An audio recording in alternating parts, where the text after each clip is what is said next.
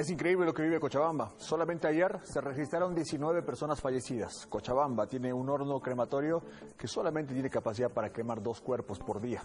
Imagínese, saque cuentas, es terrible. El lunes falleció un comerciante en el Cerro San Miguel. Hasta ahora no es enterrado, tampoco es cremado. Vecinos fueron hasta el cementerio para velarlo. Recordemos que también el cementerio está cerrado porque están los trabajadores en paro.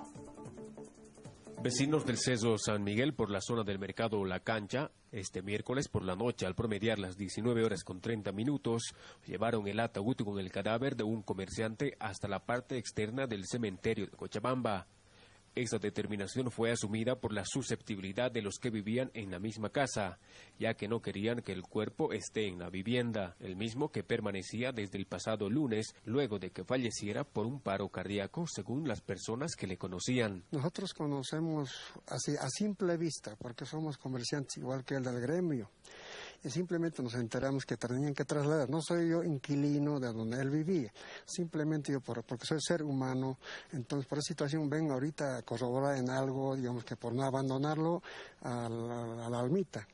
Entonces, en ese caso, yo diría a las autoridades de Cochabamba que hagan una posible, una.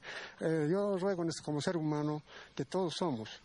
Encarecidamente rogaría a las autoridades eh, que conciernen estos casos y como no tiene familias acá en Cochabamba, la almita, entonces yo rogaría a las autoridades simplemente, pero esta muerte ha sido muerte natural, no ha sido con COVID-19 ni cosa parecida. En exteriores del cementerio general, algunas personas que conocían al difunto velaron sus restos en plena vía pública.